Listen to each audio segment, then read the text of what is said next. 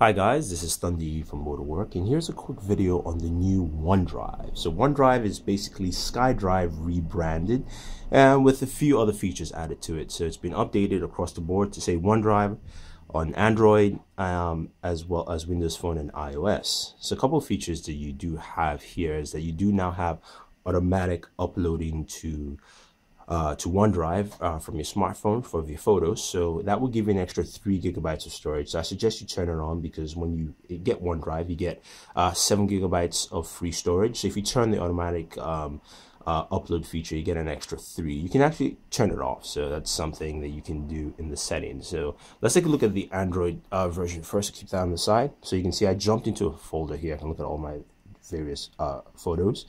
And you can see I can create a folder within it by tapping the folder button here.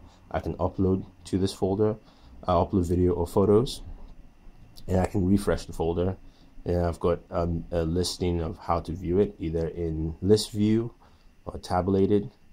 And if I head back, this is my full OneDrive fo uh, folder. Now, the cool thing now is that you can share links much easily with OneDrive. So for instance, I have this first uh, folder that says one. I have 19 photos in there.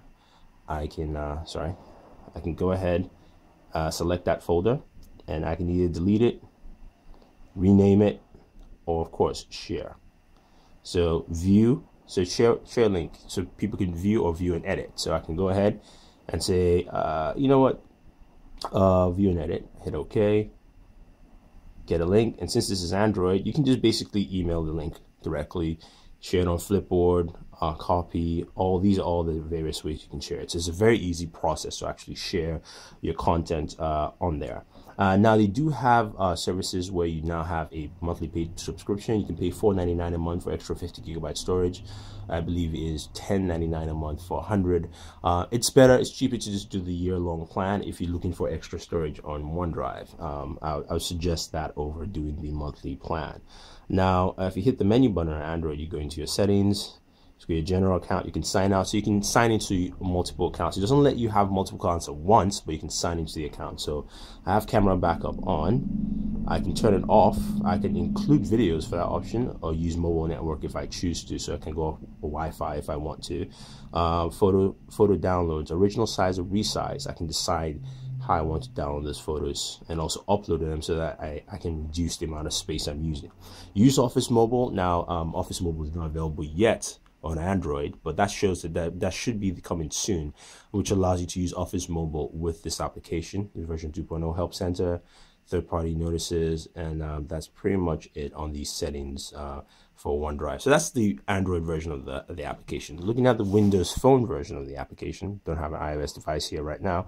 So you can see here, let me just move in a little closer. You see, I can look at files, I can go into recent, recent uh, documents, shared. I can see who I'm shared with, and then my files again. Hitting this shows you I can do my change my view. I can add new. I can select, search, create new folder, refresh, and of course go into the settings. Settings, uh, photo upload size. I can change that. Original resize is the same as download. General account information, the, the storage I have on my account. I can sign out, and of course the about information. So it's pretty much it, very basic. On Windows Phone, again, too, you can share folders. So I can go to the AJ's One Plus.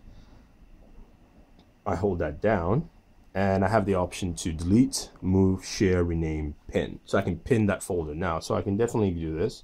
I can pin this to my desktop wherever I want and I have that folder there. Now if I decide to go back, uh, the same folder, I can now hold that down again.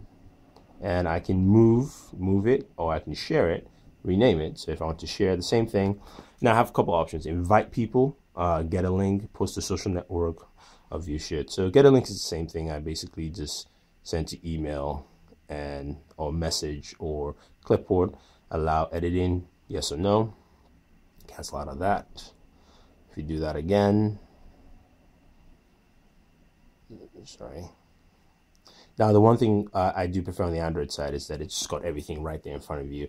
Invite people, uh, post to social network. Basically, this should open up uh, permissions to post to social network through the uh, the Me tab. So uh, that's pretty much it uh, for OneDrive. you know, if you guys have any questions or any comments, let us know. Um, don't forget to subscribe to all our pages on Twitter, Facebook, and YouTube. It's all Booredatwork.